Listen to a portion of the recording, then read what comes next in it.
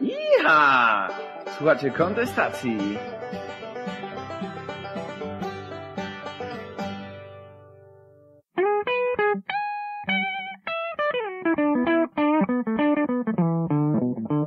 Opowieści pastora przedsiębiorcy. Witam serdecznie, opowieści pastora przedsiębiorcy. Więcej informacji o mnie na mojej stronie www.koach.pl Dzisiaj tytuł brzmi Czy Kiyosaki zbankrutował?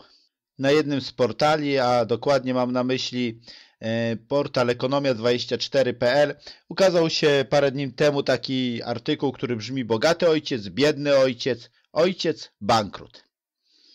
I widzisz, dzisiejsza audycja nie będzie wcale w pierwszym rzędzie o Robercie Kiyosakim.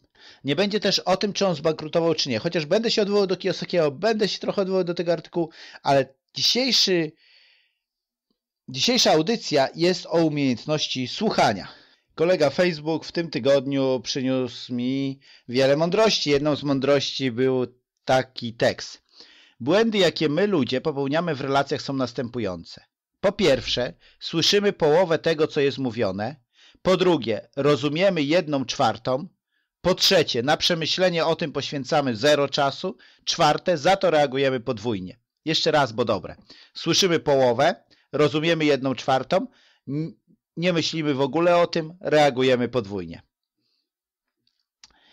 Jest w Ewangeliach wiele razy jest napisane, Jezus mówił, mają uszy, a nie słyszą. W objawieniu jest, kto ma uszy, niechaj słucha. Wiesz, słyszeć, co ktoś mówi, jest bardzo ważne. Wiele sprzedawców posługuje się takimi półprawdami, czyli najgorszym rodzajem kłamstwa. Coś ci powiedzą, niby jest prawdą, ale ostatecznie tą prawdą nie jest. Podobnie jak artykuł, tak? Bogaty ojciec, biedny ojciec, ojciec bankrut. Wiesz, budzi sensację, tak? A, Kiyosaki jednak zbankrutował. No i jest tutaj parę takich rzeczy o Kiyosakim. Ostatecznie hmm, pod sam koniec takiego krótkiego artykuliku jest napisane tak. Dziennik New York Post, który jako pierwszy opisał całą historię, informuje jednak, że wniosek o bankructwo dotyczy jedynie spółki Rich Global.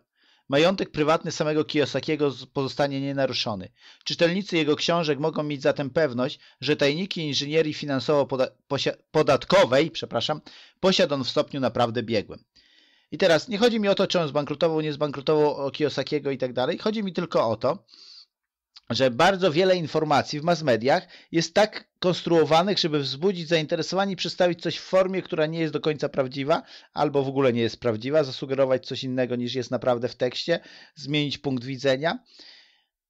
I jeżeli bardzo często ulegamy temu wpływowi, to naprawdę uczymy się słyszeć coś innego. Poza tym, co przeszkadza nam słuchać? Przeszkadza nam słuchać. Przede wszystkim to, że mówimy. I wiesz, nie mam to na myśli, że kiedy tylko o to, że mówimy słowa, tylko mówimy słowa, których nie słychać. Czyli ktoś do nas mówi, a my na przykład ignorujemy, nie słuchamy go wcale. Albo tak udajemy, że go słuchamy, a tak naprawdę czekamy aż skończy to słuchać. Nieraz kiedy kilka osób się zbierze, ktoś opowiada dowcip, e, kiedy skończy, jeżeli ludzie się już tak nakręcą dłużej, szczególnie jak jest kilku facetów, typowych samców alfa, ponakręcają się trochę, to tak, ktoś opowie dowcip, dowcip nawet śmieszny, ale nikt z pozostałych nie czekał, żeby się pośmiać, tylko żeby kiedy ten skończy powiedzieć, a ja znam coś lepszego, tak? I zasuwa ze swoim. Więc to tak, to jest właśnie udawanie, że słuchamy. Inne to jest słuchanie selektywne. Na przykład ktoś przeczyta ten nagłówek i powie, a jednak Kiyosaki zbankrutował i dopiero te wszystkie rzeczy przeszkadzają nam w słuchaniu. Czyli ktoś coś mówi, ale o wiele ważniejsze niż to, co ktoś mówi, o wiele ważniejsze niż to, co ja mówię do ciebie, jest to, co ty mówisz do siebie. O wiele ważniejsze niż to, co ja mówię do ciebie, jest to, co ty mówisz do siebie. To się nazywa dialog wewnętrzny. Tak? Dialog wewnętrzny, który bardzo często przeszkadza nam w zrozumieniu tego, co ktoś chce powiedzieć. Powiem coś, co jest trudne w praktyce, jednak jest bardzo pożyteczne, kiedy człowiek się tego nauczy, a właściwie to się uczymy tego całe życie. To jest najpierw staraj się zrozumieć, a dopiero potem być zrozumianym. Najpierw staraj się zrozumieć. Kiedy jest sytuacja konfliktowa, najpierw staraj się poświęcić czas na zrozumienie drugiej strony. Zapytaj, dlaczego tak uważa, jak uważa, nie broń się, niech powie, co czuje, niech powie, jaki jest jej punkt widzenia, powtórz to, sparafrazuj, oddaj emocje I jeżeli w ten sposób będziesz nasłuchiwać drugiej strony, to osłabisz w niej takie nastawienie na walkę. Co więcej, kiedy usłyszysz brzmienie drugiej strony, to być może dojdziesz do wniosku, że jednak ma ci coś do przekazania. I, nie, I wtedy może się czasami okazać, że to, co ta druga strona ma nam do przekazania, jest czasami o wiele, wiele, wiele, wiele bardziej ważniejsze niż to, co my chcieliśmy powiedzieć, albo że nie do końca dobrze rozumiemy. Więc jeżeli nastawiasz się na słuchanie, jeżeli rzeczywiście chcesz usłyszeć, co druga strona ma tobie do powiedzenia, to słuchanie zaczyna się od tego, że naprawdę masz nastawienie chcę zrozumieć. To, co pomaga, takie dwie techniczne rzeczy, ale one są tylko techniczne. Jeżeli nie masz właściwego nastawienia, to i tak prędzej czy później to wyjdzie. Powtarzaj to, co ta druga strona powiedziała z zapytaniem, czy rzeczywiście tak powiedziałeś. A kolejna rzecz, staraj się oddać emocje. Mówi, aha, czy jesteś niezadowolony, jest pan wściekły, e, jesteś zadowolony, jesteś szczęśliwy, to było spełnienie twoich marzeń, tak? Więc te rzeczy, powtarzanie treści oraz druga rzecz, e, parafrazowanie uczuć, odczuć danej osoby, to pomaga nam usłyszeć, bo angażujemy się cali w usłyszenie. I kiedy człowiek poczuje się wysłuchany, o wiele łatwiej będzie mu przyjąć to, co my mamy do powiedzenia. Czy zawsze to się uda? Nie. Czy zwiększa to nasze szanse? Tak. Ale jak już o Kiyosakim, który jest pretekstem do tego, żeby ktoś chciał wysłuchać tej audycji, to dwie rzeczy bardzo ciekawe, które pewnie mówi wielu ludzi, ale akurat ja usłyszałem albo po raz pierwszy do mnie dotarły u niego. Dlaczego mówię, że usłyszałem albo pierwszy raz do mnie dotarły? Dlatego, że czasami słyszysz coś, podobno siedem razy trzeba coś usłyszeć, zanim człowieka naprawdę dotrze, także zajarzy o co chodzi, tak, żarówka zajarzy. Więc jedną z rzeczy, którą on powiedział, to jest, że czasami trzeba tony argumentów na jeden gram uprzedzeń. Że potrzeba tony argumentów na jeden gram uprzedzeń. I opowiadał tu taką historię, że kiedyś zaprosił go jeden pastor do kościoła. No i Kiyosaki mówi, no on tak specjalnie do kościołów nie chodzi. No a poza tym miał uprzedzenia, że w kościele chrześcijańskim to raczej o finansach się mówi, że trzeba być ubogim i wtedy jest się świętym. I kiedy rozmawiał z tym pastorem i ten pastor odpowiadał na jego wiele wątpliwości, to Kiyosaki właśnie napisał, w to po takiej dłuższej, kilkugodzinnej rozmowie ten ksiądz powiedział mu tak, widzi pan, czasami trzeba tony argumentów na jeden gram uprzedzeń. Że jak ktoś jest uprzedzony, to nie słyszy, co mówisz. No, taki prosty przykład z moich audycji, tak? E, kiedyś mówiłem o kole życia i mówiłem, że tam jest kilka różnych dziedzin jedną z dziedzin powiedziałem, to może być Bóg, a jeżeli ktoś nie jest wierzący, to możesz sobie wziąć jakieś twoje wartości duchowe, czy wartości, którymi się kierujesz w życiu, coś, co nadaje jakiś sens twojemu życiu. Tak? Komentarz pod, pod audycją brzmiał tak. Ciekawe, że koło życia nie jest dla ateistów. To na argumentów na gram uprzedzeń. Ok, druga rzecz tu też wziąłem od Kiyosakiego, opinia a fakt. Tu mam świetny przykład. Wyczytałem to kiedyś, on mówi, że bardzo wielu ludzi bierze opinię za fakty. Czyli na przykład y, o, ostatnio sytuacja jest tak, z, z, nie będę tam zdradzał imię nazwiski, tak to wam nic nie powie. W każdym razie jakiś tam mój znajomy mówi, słuchaj, słyszałem, że Tat Witkowicz jest w Polsce. Ja mówię, no ja też słyszałem. A on mówi, no właśnie, czy ty mógłbyś się jakoś dowiedzieć, gdzie on mieszka? Ja bym się chciał z nim spotkać, bo tutaj chciałbym, żeby zasponsorował mój biznes. Ja mówię, no wiesz, to akurat nie musisz się z nim spotykać. Tam na stronie musisz wypełnić taki formularz w Excelu, tam masz około 3000 punktów i wyślesz. On mówi, a nie, nie, mówi, bo to, to za dużo ten. A ja by, jak ja mu przedstawię, to no właśnie. Ktoś daje jakieś warunki, ale ten drugi, ja mówię, no ale co mi przedstawić? No w Excelu to nie będzie tak wyglądało, ale to będzie naprawdę dobry biznes, ja tylko potrzebuję pieniędzy na start. Tak, no ci z nas, którzy troszkę dłużej siedzą w biznesie albo sami albo, albo słuchają trochę więcej takich historii, wiedzą jak się kończą, to, to wiesz, że to jest bardziej opinia niż fakt. Tak? Fakt to jest coś, co się stało, opinia to jest twoje, że pójdzie mi dobrze, wszystko będzie dobrze, a nawet lepiej niż dobrze. Tad Witkowicz mówi tak, że jeżeli y, zaczynał biznes, zawsze miał plan A i plan B. Czyli plan optymistyczny i plan pesymistyczny. I kiedy już biznes zaczynał być zakładany i kiedy już był realizowany, nagle się okazało, że ten cały pesymistyczny to się okazywał najbardziej optymistyczny. No i, ale opinia fakt. Kiedyś to wyczytałem Kiyosakiego, zachwyciłem się tym i rozmawiałem z takim człowiekiem, który, no młody człowiek, młodość ma swoje prawa. I ten człowiek mm, ja mówiłem, słuchaj, ba bardzo często opowiadałem o tę opinię fakt, bardzo często zwracam uwagę, słuchaj, to jest opinia, to nie jest jeszcze fakt. I pamiętam ten moment, kiedy on do mnie dzwoni z komórki i mówi tak, e, zaopiniuję fakt, tam się trochę tak bawił słowami, zaopiniuję fakt, że właśnie mam nowe mieszkanie, bo tutaj czekamy u notariusza i już naprawdę nic nie może się stać. Więc to jest opinia czy fakt, że mam mieszkanie? Ja mówię, no, według mnie, dopóki nie podpiszesz umowy, to jest ciągle opinia. A on mówi, no właśnie, a dla mnie to już jest fakt, mam mieszkanie. Kwadrans później dzwoni do mnie załamany i mówi, nie było jakiegoś papierka i nie mogliśmy podpisać umowy. Ostatecznie kupił to mieszkanie, tak? Ale to był bardzo ciekawy dla mnie przykład. Oczywiście w tamtym momencie go nie dobijałem, mówiąc, a jednak, chociaż teraz żałuję, no ale mniejsza o to. Więc yy, chodzi o to, że w słuchaniu czegokolwiek i w mówieniu czegokolwiek ważne jest, czy to, co słyszysz, to, co człowiek mówi, to jest opinia, czy to jest fakt. Na przykład, to jest opinia, czy fakt, że Kiyosaki zbankrutował? No właśnie. To jest fakt, że jedna z jego spółek zbankrutowała, tak? Ale on dalej ma jakąś kasę. Fajną kasę. Iha! Słuchajcie kontestacji. Ciekawa rzecz była, kiedy Kamil mówił o tym, co, yy, po czym można rozpoznać, że ktoś jest blisko, że ktoś przeżywa kryzys, finansowy kryzys w firmie. On mówi, yy, że zobaczył, że najczęściej po tym, że nie tankuje auta do pełna. A ktoś tam z sali zadał pytanie, a jak ja nigdy nie tankuję auta do pełna?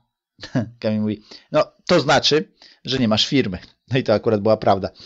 I rzeczywiście, szczególnie jeżeli dużo jeździsz, to jeżeli nie, nie tankujesz auta do pełna, to to oznacza, że w jakimś momencie w, tym, w tej sytuacji jesteś w jakimś kryzysie finansowym. A propos też bankructwa, to taki trend. Tu taki trend będzie Frank Borman, amerykański astronauta, powiedział: Kapitalizm bez bankructwa jest jak chrześcijaństwo bez piekła. No, ciekawa rzecz. A propos tego bankructwa, kryzysów i różnych rzeczy, ciekawą sentencję ostatnio czytałem. Ktoś powiedział tak. Nie mów i nie narzekaj. Mam podgórkę, kiedy idziesz na szczyt. Wiesz, to jest fajne, czy twój kryzys i twoje problemy to są problemy życia, czy problemy śmierci. Problemy życia to jest coś, co trzeba pokonać. Na przykład dziecku rosną ząbki, w nocy nie śpi. To są problemy życia. A problemy śmierci są wtedy, kiedy po prostu nie możesz zdobyć już trzeci miesiąc pod rząd klientów. Więc wracamy w tej chwili do słuchania. Jedną z ważniejszych rzeczy w słuchaniu jest nastawienie. Czy człowiek szuka prawdy, czy szuka zaczepki? Powiem coś, czego ja sam nigdy bym nie powiedział, ale mój kuzyn, który nie jest tak świętobliwy jak ja, miał zwyczaj mówić. Jeżeli wiesz, spotykasz się z kimś, rozmawiasz i widzisz, że on nie szuka prawdy, tylko zaczepki, to mój kuzyn mówi tak, olej go grubym moczem. Oczywiście ja nigdy w życiu takich słów bym nie użył. Inna z ważniejszych rzeczy w komunikacji to jest to, że komunikujemy słowami. Idzie te wszystkie fochy, dąsy, półsłówka, szantaże emocjonalne, dziecinne zachowania. To jest zły sposób komunikacji. Komunikujemy słowami. Jeżeli jest powiedziane, jest nazwane. Inna rzecz w komunikacji jest taka, że wiele problemów by znikło, gdyby ludzie nauczyli się mówić jeden z drugim, a nie jeden o drugim. Plotki rozbijają wiele wspólnot, ludzi, przyjaźni, kościołów. To jest masakra, tak? Jeżeli chodzi o, o plotki, to jedna z gorszych rzeczy, która może się w życiu zdarzyć, to kiedy ktoś cię plotkuje. Oczywiście plotkowanie zawsze ma jedno podłoże, tchórzostwo, tak? Ktoś nie powie ci tego wprost, jednak za twoimi plecami coś mówi, ty nie możesz się do tego odwołać, jeszcze zrobi taką klauzulę, nie mów nikomu, tamten się czuje, że oczywiście nie musi powiedzieć nikomu. A walić takich ludzi, ja po prostu ich nie cierpię. E, dla mnie plotkarz to jest jeden z najgorszych zwyrodnialców, jakich, jakich znam, ale to nie, nie mam na myśli konkretnego plotkarza, tylko tą postawę. Okej. Okay. Inna z takich rzeczy, trochę wejdziemy teraz na głębie. Jak niektórzy poczujecie, że pod balastem słów statek waszej wiedzy zatonął, to szybko się wynurzamy. To potrwa z 30 sekund. Co tam kolega Facebook nam przytoczył, to fajne taka Posłuchaj tego. Na Facebooku ktoś wysłał taką kartkę. Na zdjęciu jest. Przepraszam. Na zdjęciu jest butelka mleka, kilka jajek i dialog. Moja żona powiedziała: Idź do sklepu, kup karton mleka, a jak będą mieli jajka, to weź sześć. Wróciłem do domu z sześcioma kartonami mleka. Zapytała mnie, dlaczego do cholery kupiłem sześć kartonów mleka. Odpowiedziałem, bo mieli jajka. Jeszcze raz powtórzę, co żona powiedziała. Idź do sklepu, kup karton mleka, a jak będą mieli jajka, to weź sześć. Powtarzam, bo wiesz, inaczej to jest, kiedy ja to widzę napisane, a inaczej, kiedy ty to słyszysz. Możecie coś tam rozpraszać, to też problemy w komunikacji, tak? Ktoś coś mówi, jak coś rozprasza. Co powiedziała jego żona? Powiedziała, idź do sklepu, kup karton mleka. Koniec, kropka. A jeżeli będą jajka, tak, można powiedzieć inaczej, to weź 6. A można to zrobić jako tryb warunkowy. Idź do sklepu, kup karton mleka, ale specjalnym kodem będzie to, że jak będą jajka w sklepie, to kup 6 kartonów mleka. Widzisz, sposób interpretacji tego, co ktoś mówi, jest dosyć ważny. A propos jeszcze komunikacji w tym wymiarze takim najtrudniejszym, czyli między mężczyzną a kobietą, to też widziałem takie hasło. Nie ma kobiet niezrozumiałych, są tylko niedomyślni mężczyźni. Nie ma kobiet niezrozumiałych, są tylko niedomyślni mężczyźni. No więc tak, yy, dzisiejsza audycja będzie też trochę krótsza, troszkę pokaszluję, mam coś, jakieś problemy z krtanią, więc troszkę krócej dzisiaj będzie, ale to nic, nadrobimy może w następnym tygodniu. A może nie będzie krótsze, bo to wiesz, jak kaznodzieja ci mówi, że będzie krócej, to znaczy, że będzie krócej niż on myślał. To jest tak, mój znajomy, który jest pastorem, kiedyś mówił kazanie i przed kazaniem zdjął zegarek i położył go na pulpicie. I powiedział, czy wiecie, co to znaczy, kiedy kaznodzieja kładzie zegarek na pulpicie?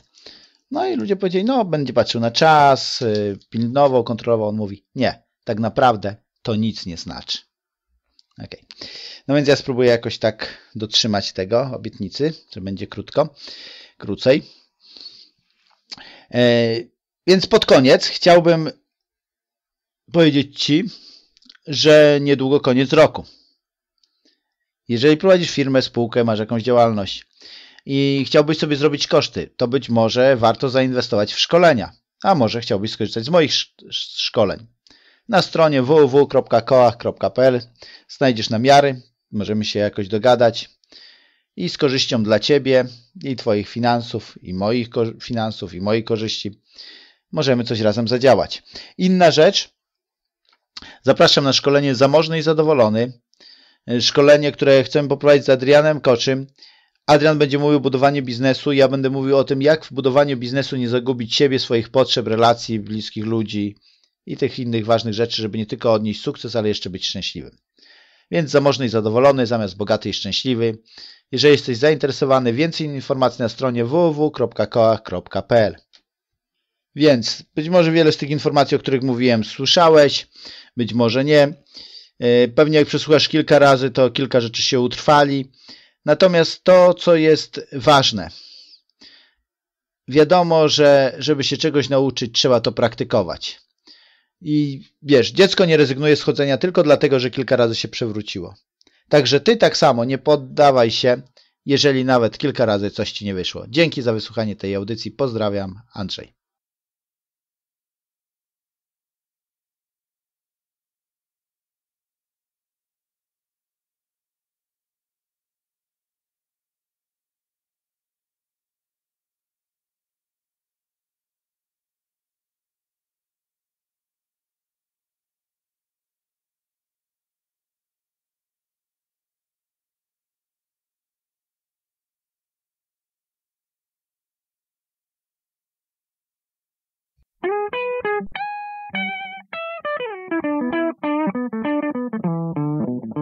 Wysłuchałeś opowieści pastora przedsiębiorcy.